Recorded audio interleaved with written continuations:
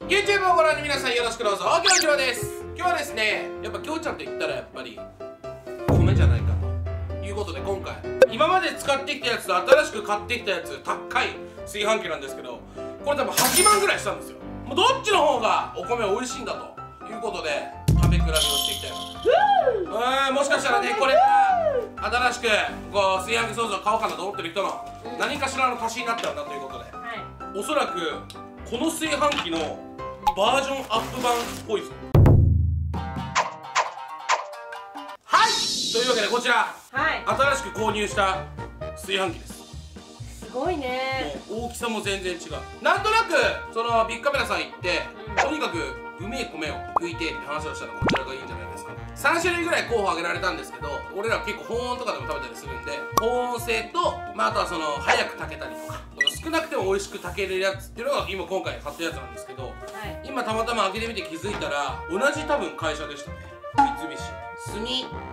炭炭ス炭ん炭炭炭炭炭炭焼き釜釜炭炭炭焼炭はい炭バグりましたきょうちゃんバグでーす炭何これ何て読むのこれなんか同じようなこの形状のこのやっぱその炭シリーズはい本炭釜まあまあ白子の言わず食べ比べしていきましょうよその前になんか神が入ってたこれちょっと読みたいと思います、美味しいご飯を食べるためにまず1より良いお米を選ぶだって。精米年月日の新しいものを選びましょうって。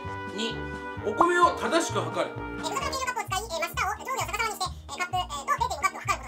お米を手早く洗うだって。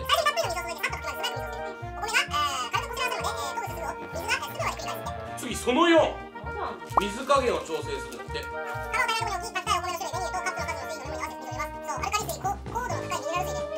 5六。長時間の本は避けること。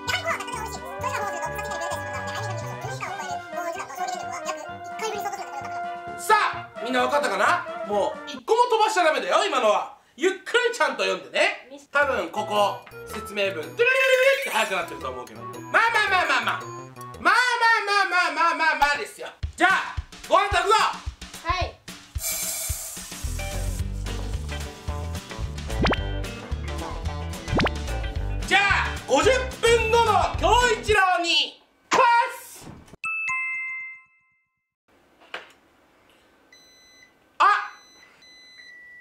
っちも炊けたね。開けるよ。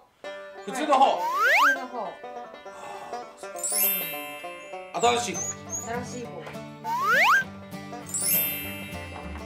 さあじゃあ食べ比べてみましょう。はい左が古い方古い方からいただきますね。よく食ってる方ね。はい。うんうん。別に特にまあいつものね。さあもの新しい方です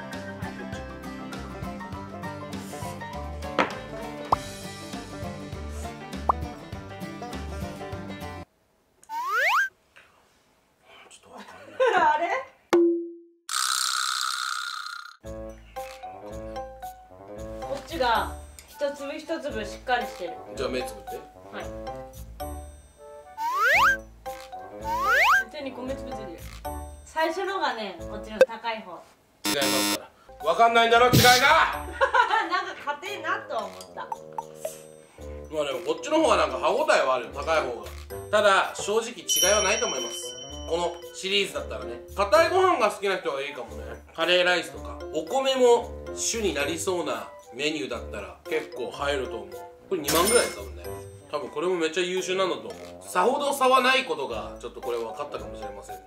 てか分からないレベルまでその高いの安いのがもう近づいてると。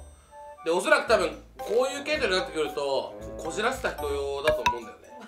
大きな変化は見られません正直。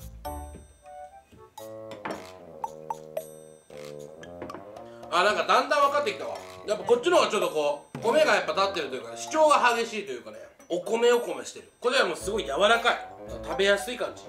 見た目の違いもあんまりないように見える見た目の違いはないね。あうまいわ。マジでできた瞬間の本当に最初の5分ぐらいは両者あんま変わんないんだけどうん。時間が経てば経つほどこっちの方がうまくなってくる。あれ？わかんない全然違うでしょ。あ違う。時間経ったら違うわ。こっちの方がなんかすごいまだなんかずっと出来たてみたいな感じ。ずーっと味変わんないこっちは。こっちはやっぱだんだん柔らかくなってくるのかな。なんか。なんだろうね。だからそのお店の人もさ「おおいいですよ」って言ってたじゃん。もしかしたら長いことこう保温とかで使ったりする人は買ってもいいのかもしれません。できてすぐ食べきっちゃうよっていう人は全然安い方でも俺は問題ないと感じましたじゃあ最後に卵かけご飯を食べて違いで